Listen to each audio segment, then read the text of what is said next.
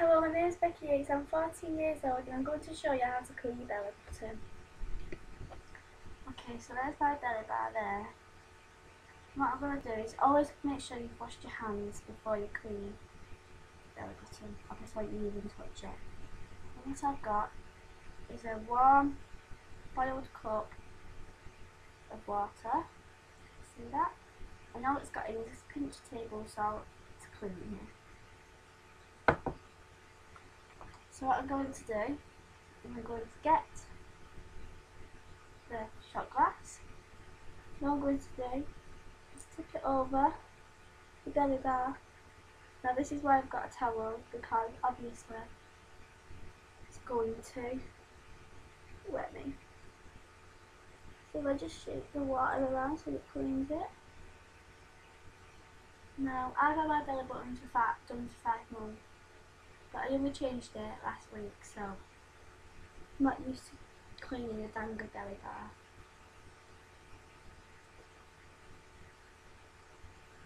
So once the water's got all in there, you can take it off.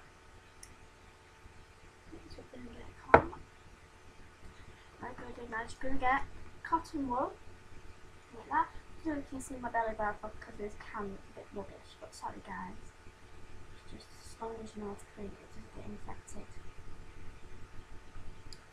Now, I'm going to tell you the truth that my belly bath infected four times, but every time it has been infected, I've just cleaned it more than I should. All you do is you get you dip the cotton bud in the shot glass and just wipe around the bar and on the ball like so. And make sure you get a different cotton bud so it doesn't.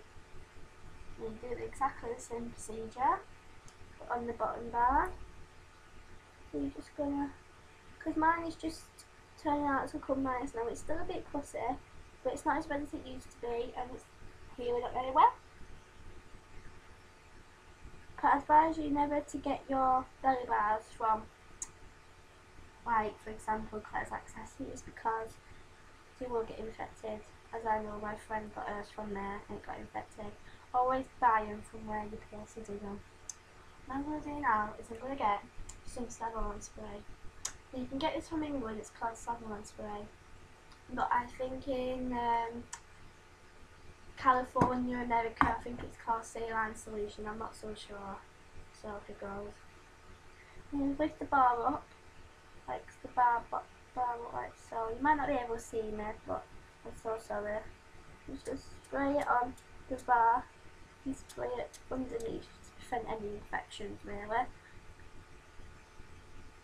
Yeah, it protects against infection, treats cuts, and, and so on and so on. I'm to do I'm to do the bottom bar now. Push the bar down on top and spray the bottom to get a good clean it. Lift it up.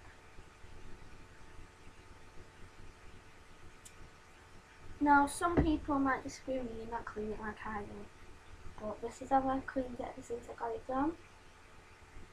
And it's only been infected because one, I went swimming, and two, I didn't clean it for a week. So, some people may ask me, um, does it hurt? No, it doesn't hurt as long as they freeze it if you freeze if you freeze it then it will not hurt one bit, it just tickles. The worst bit of when I had it done was probably when right the worst bit when I had it done was when they froze it because the spray was so cold I couldn't breathe. But sometimes it depends on your person is because sometimes you don't freeze it and sometimes you have to tell them. Okay, so that's that done. What I'm going to do is get cotton wool dip it in this, give it a little dab in there so it's a bit wet, like so, and just go around nice and all clean.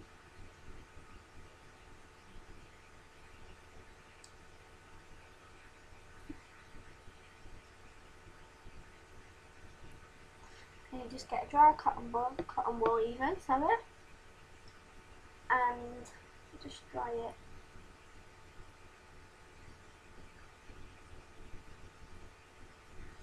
Now, I will soon do a demonstration how to change a belly bar. I'm just sorry, yeah, there's my belly bar. You might not be able to see it properly, but I'm so sorry. My camera is very rubbish.